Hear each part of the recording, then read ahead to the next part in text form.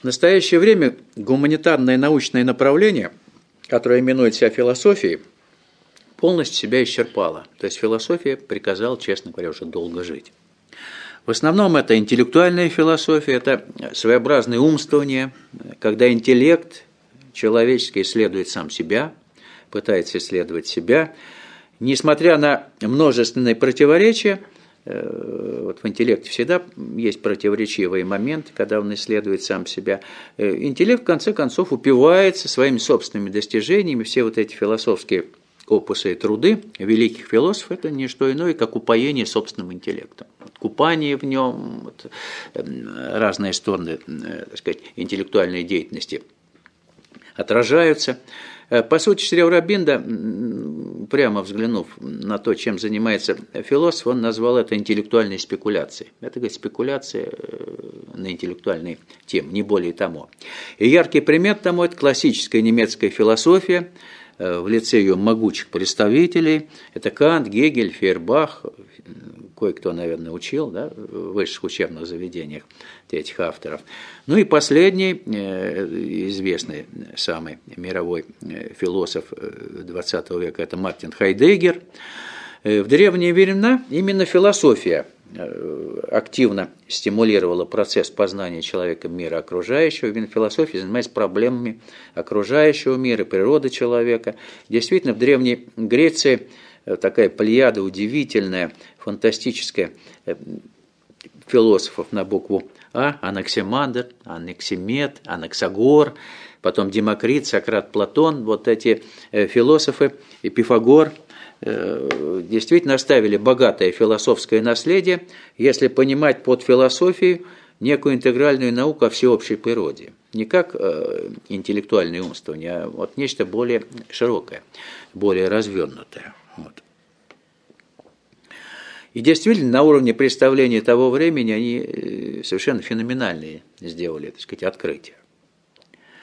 А вот последний из магикан немецкой классической философии, знаменитый философ-интеллектуал 20-го столетия Мартин Хайдеггер, он действительно, вот я уже об этом говорил, если помните, тот, кто не помнит или не знает, я сейчас скажу, что он действительно э, в последнее время, когда он, э, в общем-то, был уже достаточно зрелым человеком, признавший, что он не понимает своих философских работ, которые он в молодости писал.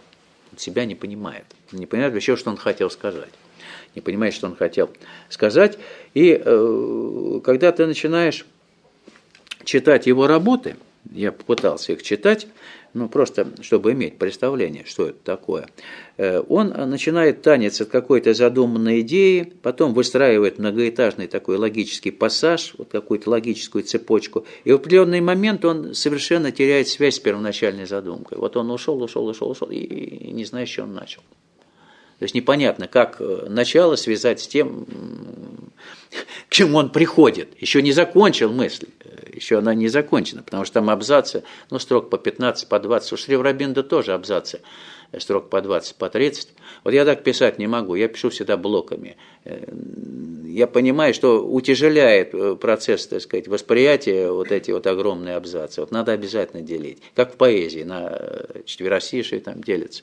Потому что иначе восприятие очень сложно, трудно это воспринимать. Вот у него столько 15-20, причем там может и не быть точек даже, такие другие знаки вот, идут.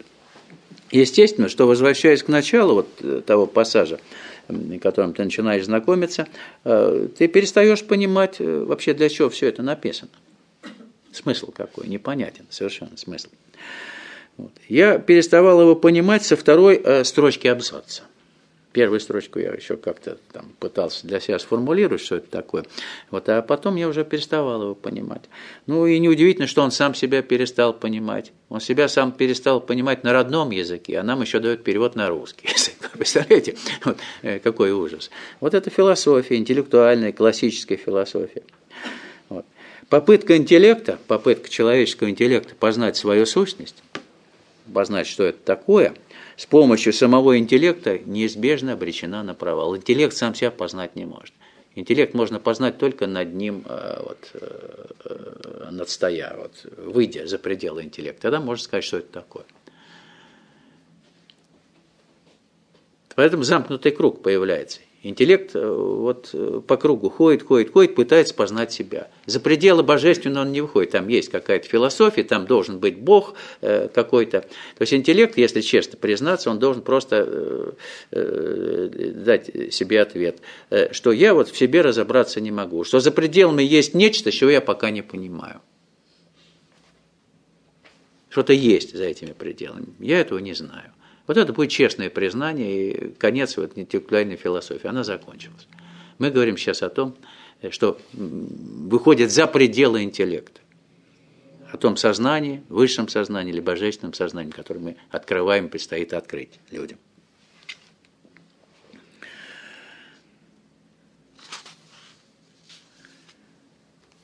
Интеллект действительно должен дать ответ на, э, вернее, поставить вопрос, поставить вопрос.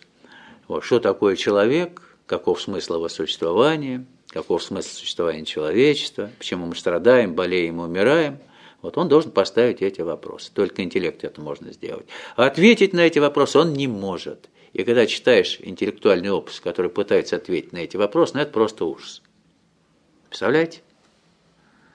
До сих пор решаются проблемы, вот почему мы страдаем, почему все так, почему все так плохо в человечестве, в конкретном человеке. Вот одни и те же проблемы. Тысячелетиями все это муссируется. Интеллект на эти вопросы ответить не может. А мы начинаем уже немного понимать, что есть что. Это уже прогресс, да? Значит, интеллект превзойден все-таки. Должен быть, и у кого он действительно становится просто инструментом высшей истинной сущности, тогда проблем уже не возникает. Тогда многие э, вопросы мы э, самостоятельно решаем, без помощи всяких философов. Так же, как без психологов мы обходимся, исследуя себя.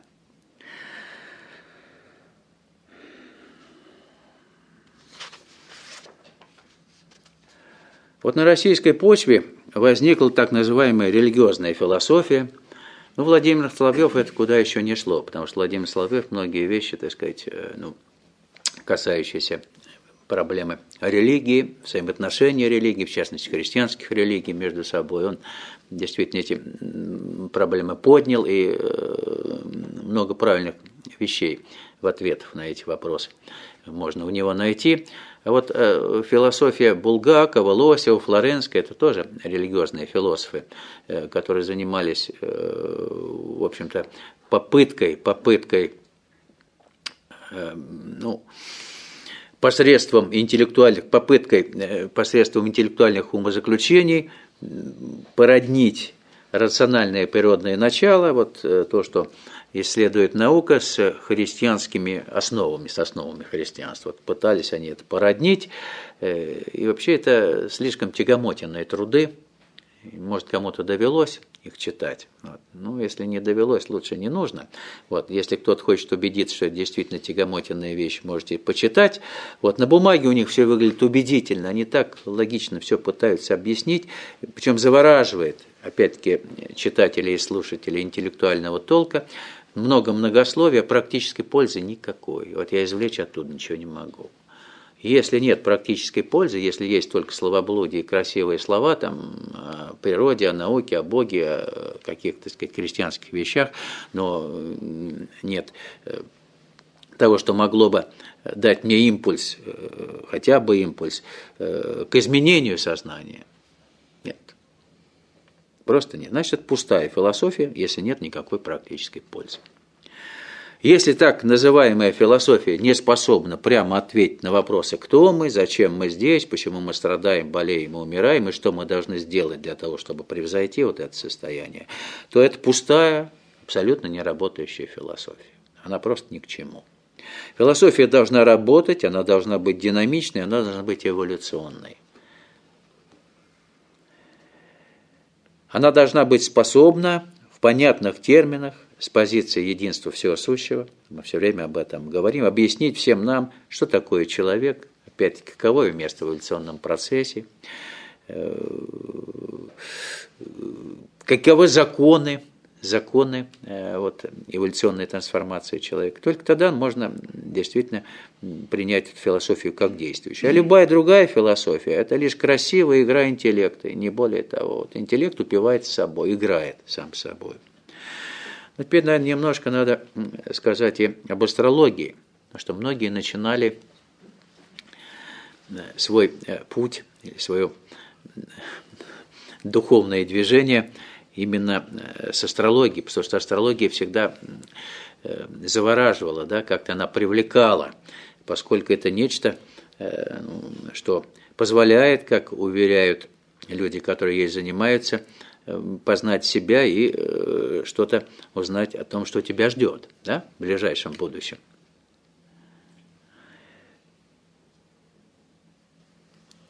Это действительно достаточно серьезная психологическая наука, которая зародилась в древнейшие времена. Тогда не было психологии, астрология вообще выполняла, в общем-то, роль психологической науки, если можно об этом э, говорить так, о том, что она наука. Она сумела хорошо описать человечество, но какое человечество? Человечество, которое эволюционирует в стадии стадного человека – не индивида, который выходит на путь индивидуальной сознательной эволюции, а человека стадного. Да? Тогда об индивидах речь не шло. Шла речь, так сказать, вот знак зодиака, да, выпускает природа там 12 раз в году через какие-то там ворота, через мясорубку вот, людей э, с определенными чертами, э, стадными чертами характера, да, такие классические вещи. Ну, наверное, знаете, 12 знаков зодиака, кто-то там тупой, кто-то острый, Э, там тупые овны, там, еще кто-то такие-то упрямые козероги, э, сексуальные скорпионы, там еще кто-то. Ну, там у них есть определенные знаки, ярлыки вешают, и пошло-поехало. Вот.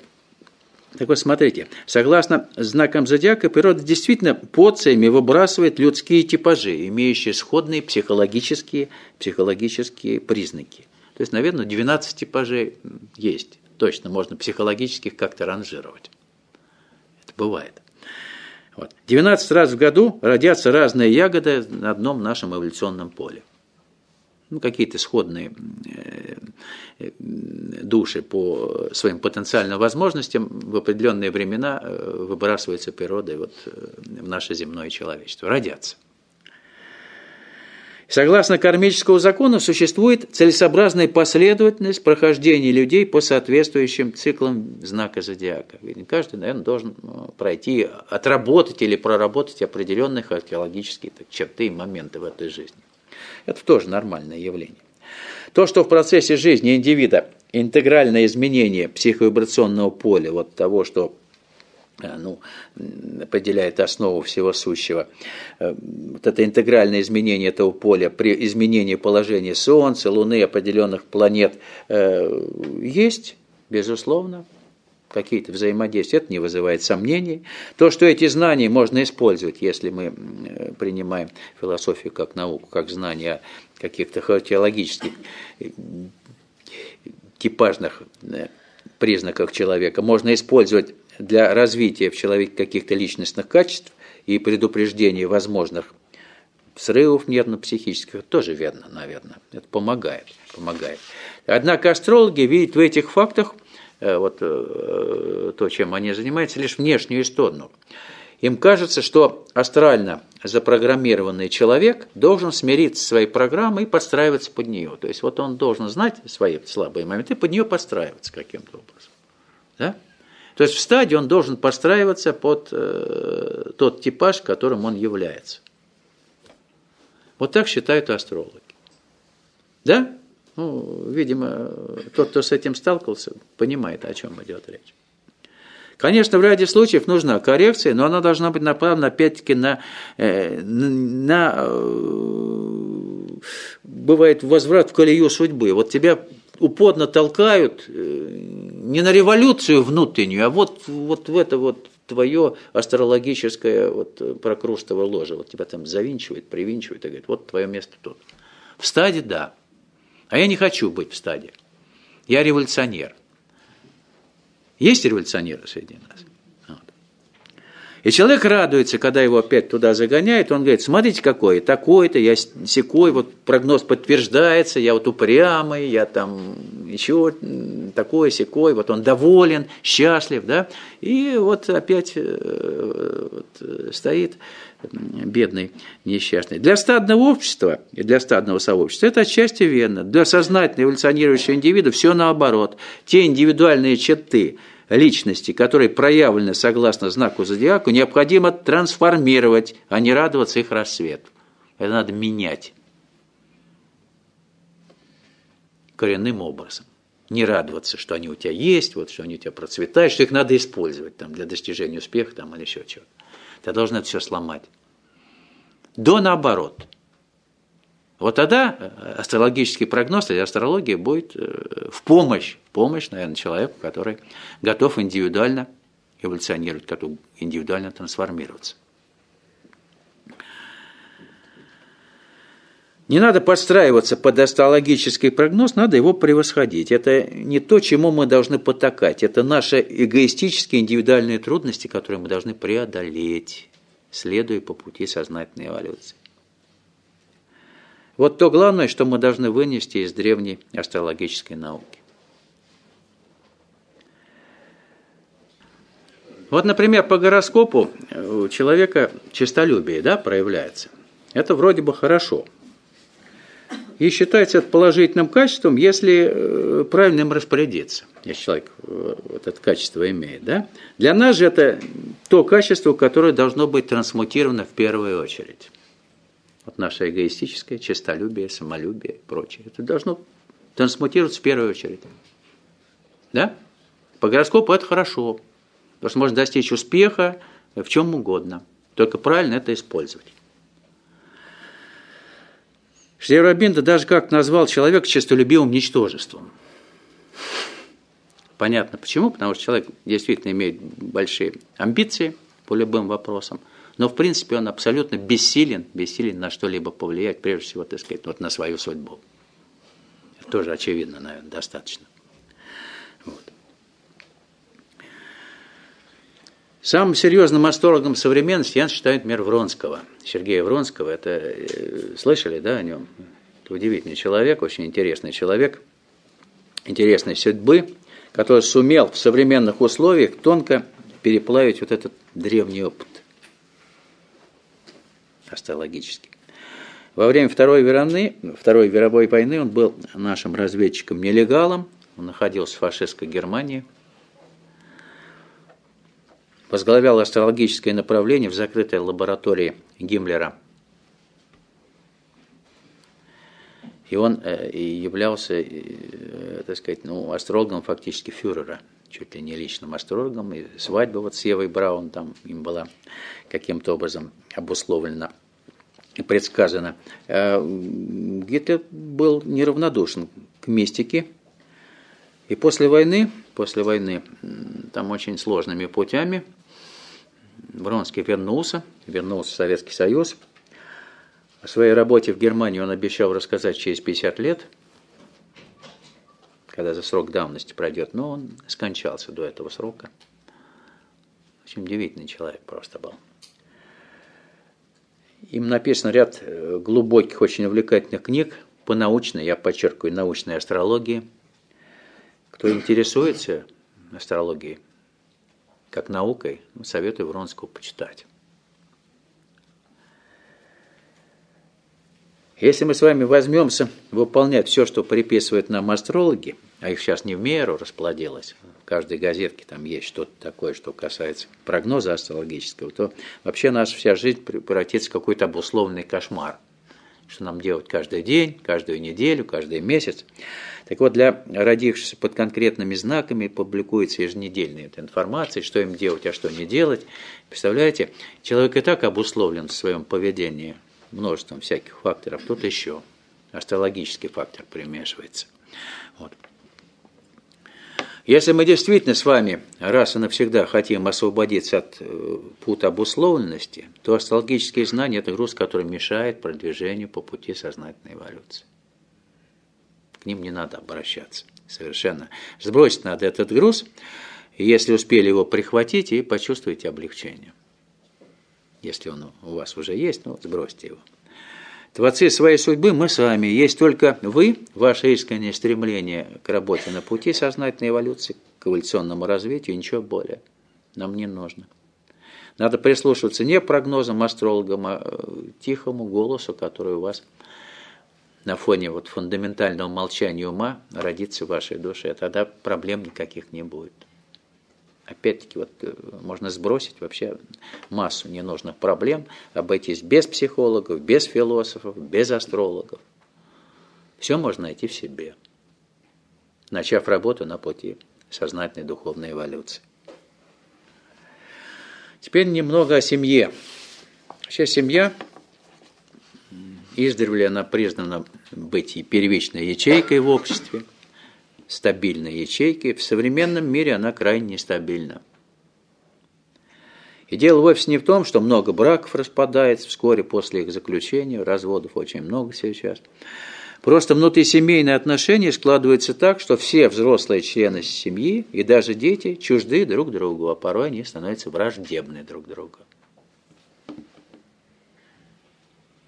Я думаю, что это не секрет, и многие э, наблюдают.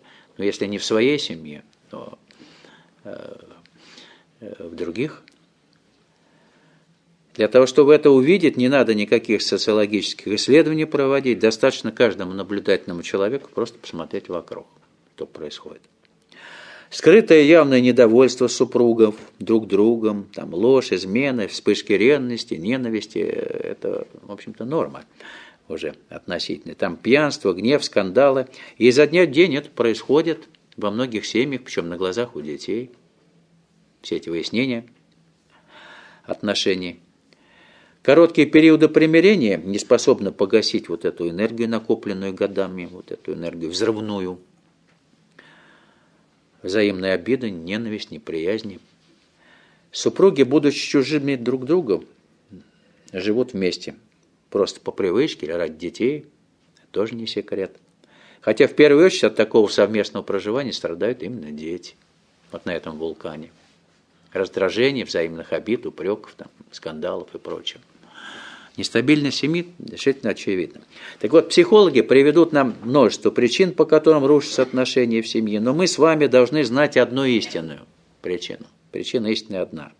Два и более эго не способны проживать вместе в замкнутом пространстве, миролюбиво. Два эгоиста не могут в этой замкнутой системе существовать мирно. Все. Других причин это уже э, варианты косметические, там по мелочам. Эго прежде всего мешает мирно существовать в семье. В замкнутом пространстве да, отношений. Каждый свои амбиции пытается поставить во главу угла этих отношений. Вот и все. Причина только одна. Так же, как одна болезнь, хроническая эволюционная недостаточность у нас, да? И в семейных отношениях тоже одна болезнь. Животное природа эго – подчинять, обладать и использовать в своих целях другое эго. Подчинить, обладать и использовать в своих целях. В разных формах. Это варианты уже, так сказать, возможны. Эго не способно не только вместить, но даже в какой-то степени понять внутренний мир другого человека, другого «я». Потому что оно не понимает, оно мыслит э, только своими категориями эгоистическими. Эго способно культивировать лишь так называемую любовь-ненависть. Любовь-ненависть. Когда партнеры тесно связаны между собой витальными узами, там, сексуальными узами, но вот эта зависимость друг от друга вызывает ненависть, то есть не свобода.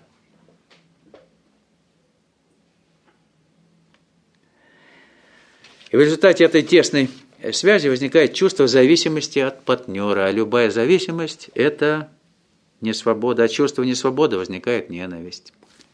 Хочу освободиться. Конфликт. Психолог называет это конфликтом. В браке, особенно в браке, эго будут бессознательно стремиться подчинить себе эго партнера. В первую очередь вот, подчинить. И если это удается, то образуется идеальная пара. Явный или скрытый тиран, энергетический вампир и э, практически безмолвная жертва – из которой сосуд, сосуд, сосуд, И она страдает, эта жертва, многими нервно-психическими и физическими недугами. Вот кто-то один вампирит, как говорят. Такая энергетическая пара. Позитрон, электрон.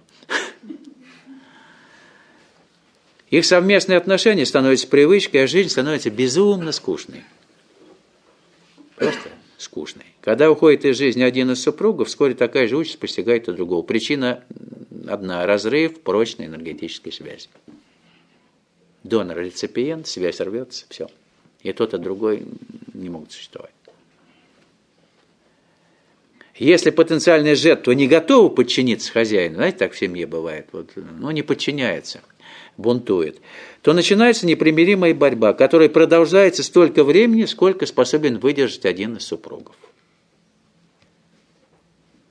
Вот в этой борьбе. То есть победителя тут э, не будет. Вот кто-то выдержит, ну, кто-то не выдержит, все.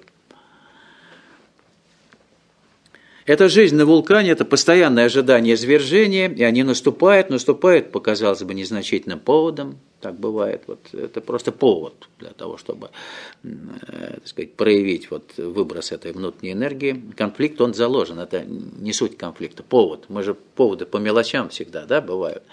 Не разбитая чашка, не какая-то неубранная там посуда э, играет э, главенствующую роль, а нечто другое, накопленное, как динамит – внутри.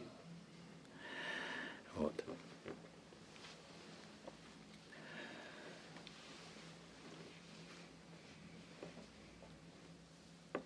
Внутренняя неприязнь, равно как и равнодушие, разъедает атмосферу семейную.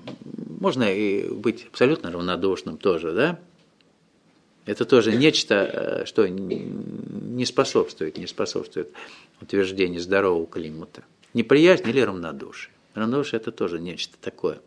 Это не ровность, не спокойствие, не фундаментальная ровность, а равнодушие. Совершенно другое чувство, деструктивное чувство. Но достаточно одному человеку наперекор своим амбициям сознательно измениться, начать с себя, то отношения в семье могут стать иными. Для начала, чтобы семья могла приемлемо существовать, надо принимать эго того человека, с которым ты живешь, терпимо, не пытаться грубо его переделывать. Кто-то один должен, говорить, уступить. То есть с пониманием проникнуться, так сказать, вот, чтобы решить эту проблему, начать решать хотя бы эту проблему. Это не означает в общем, что не надо обращать внимание на раздражающие выходки партнера. Просто обращать внимание надо мягко, воспитывая партнера на собственном примере терпимости к нему. Это тоже сложно, это искусство, да? Если с чего-то ночевать, то именно с этого. Взаимное умоление – это не выход из положения, а временная мера, которая была направлена на поддержание какой-то сносной атмосферы семейной. Это временная мера. Некоторые люди, особенно молодые, думают, что меняя партнеров по браку, они, э, не меняясь сами, они что-то новое там приобретут. Но это бесполезно. Менять можно э, тысячекратно. Если вы не меняетесь сами, ничего нового вы не приобретете. Это тоже факт. Потому что все это иллюзия. иллюзия. Вот. Все старо как мир, радикальная трансформация эгоистических отношений возможна только ну, при совместном следовании по пути сознательной эволюции. Или кто-то один начинает работать на этом пути, то тогда возможно и изменение э, э, и другого человека – если вы начнете излучать нечто, способное трансформировать психику и сознание человека, который с вами рядом находится. И спустя э, ну, энное количество лет, вот мы сейчас имеем примеры тому, что в некоторых семьях действительно происходят чудесные превращения.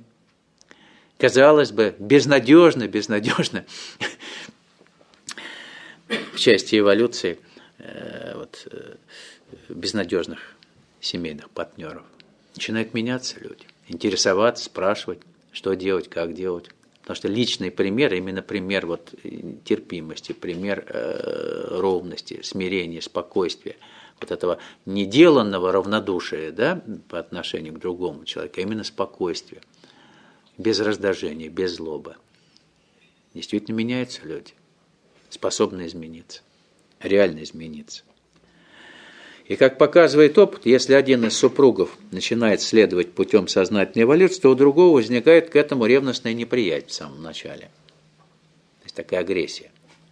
В начале работы на пути э, в семье, как правило, э, партнер начинает агрессивно относиться к тому, что тому, кто начинает работать на этом пути. У меня так было, нормальное явление, неудивительно, ведь рядом был человек, который воспринимался э, ну, как законченная какая-то статуя. Ну, что-то такое, что не способно измениться. Да? Понятно, речь идет о чем. И вдруг эта э, статуя жила, заговорила, начала менять свой облик каким-то образом, свое поведение, какие-то слова произносить другие, непривычные. Естественно, вызывает обратная реакция, агрессия. Почему так? Если раньше можно было без труда предугадать поведение вот этого статиста, понятно, что как он себя поведет в какой-то ситуации, то теперь это удается все реже и реже. То есть привычная собственность куда-то уплывает, куда-то уходит из твоих рук. Ощущение, что оно плывет, плывет. Нет этой стабильности, нет этой жесткости, что-то такое колеблющееся, что-то такое уплывающее, растворяющееся. В результате появляется агрессивность, как это так, моя собственность, неважно, как я отношусь к этой собственности, это моя собственность. Я могу ее ненавидеть, могу ее иногда любить, но это моя собственность, вот, даже если я ее ненавижу. Она куда-то ускользать начинает. Значит, противное эго всеми правдами и неправдами пытается дестабилизировать процесс вашего духовного роста. И это замечательно. Да? То есть законно э, вмешивается здесь враждебные силы, которые призваны мешать в работе на пути сознательной эволюции. То есть они наиболее эффективно, эти силы, воздействуют через ближайшее окружение, и вы испытываете это давление, агрессивное давление. Вот тут надо выстоять, вот тут надо четко-четко проводить свою линию. То есть враги человеку домашние его, вот этот врагов в кавычках надо использовать на все сто процентов, чтобы установить фундаментальную ровность внутреннюю ровность. Так начиная жить своей собственной непонятной для окружающих внутренней жизнь, э, важно не выпячивать свое «я», не говорить «вот я на духовный путь встал, вот мне нужны какие-то особые условия». Надо поставить себя так, чтобы всем было ясно, что теперь для вас главное, но совершенно не отказываться, естественно, от добросовестного выполнения необходимых там семейных обязанностей, социальных обязанностей. Вот это все должно быть ну, Э, нормально. Причем еще более ответственно к этому относиться. То есть не вместо этого заниматься духовной работой, а сохранить все это вот э, именно на должном уровне. Никому, особенно в семье, не пытайтесь ничего доказывать касательно вашего внутреннего состояния, что вот вы сейчас плохо себя чувствуете, что вот э, вы видите этот мир не таким, каким видели вы раньше, что вам сейчас больно, там как-то вот тяжело. Не нужно. Это ваша проблема, пусть она будет у вас. У вас действительно меняется отношение к этому миру, но вы не должны э, ныть по этому поводу и плакаться и жаловаться своему ближайшему окружению.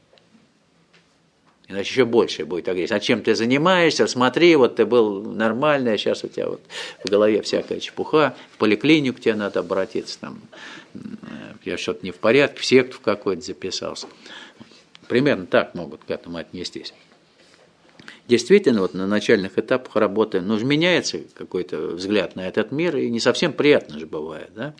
И домой приходишь э, как-то, э, вот, тоже там видишь не совсем приятные вещи, да? Пойдешь домой, там ты сидишь, да? Как Высоцкий пел. Вот. Вот. Э, ну, поэтому вот тут очень важно это пройти очень так мягонько. И ни в коем случае не бунтуйте. Витальный бунт только отнимает силы, потому что вы будете бунтовать только на витальном поле. Это отнимет ваши силы, вас просто разденет. Надо сохранять свой мир нетронутым, не позволять в него вторгаться другим людям, какими близкими они вам не казались. Во внутренний мир никого не пускайте.